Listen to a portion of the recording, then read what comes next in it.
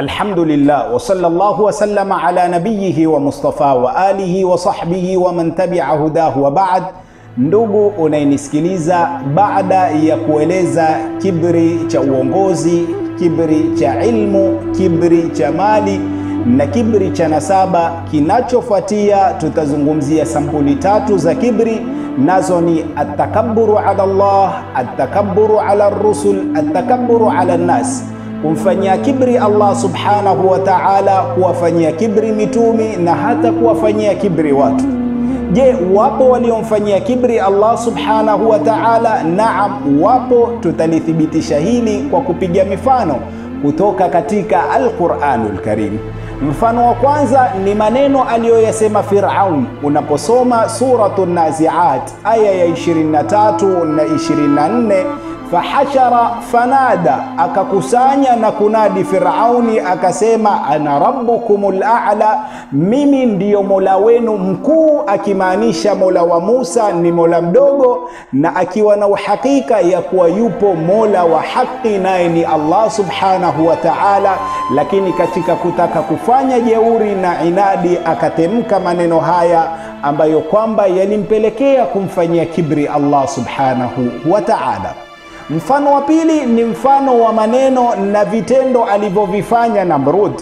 Isome Suratul Baqara aya 258. Sayyidina Ibrahima alayhi salam alipomwambia Namrud, rabbi alladhi yuhyi wa yumit, mola wangu huhuisha na hufisha.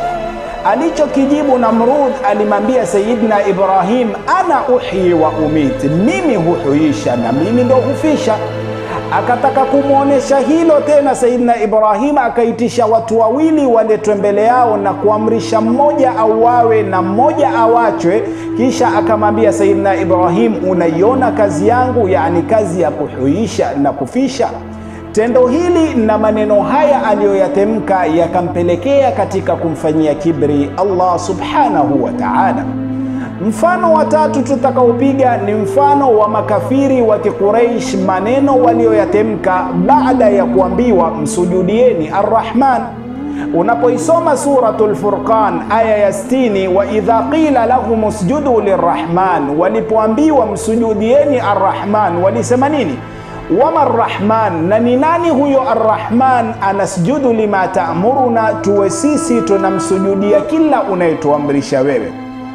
Maneno haya walioyatemka yakawapelekea kumfanyia kibri Allah subhanahu wa ta'ala.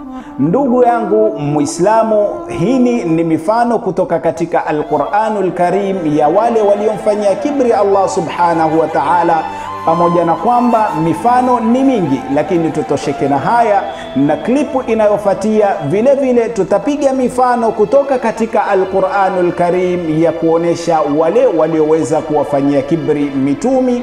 wa sallallahu wa sallama wa baraka ala sayidina Muhammadin wa alihi wa sahbihi wa sallama walhamdulillahi rabbil alamin.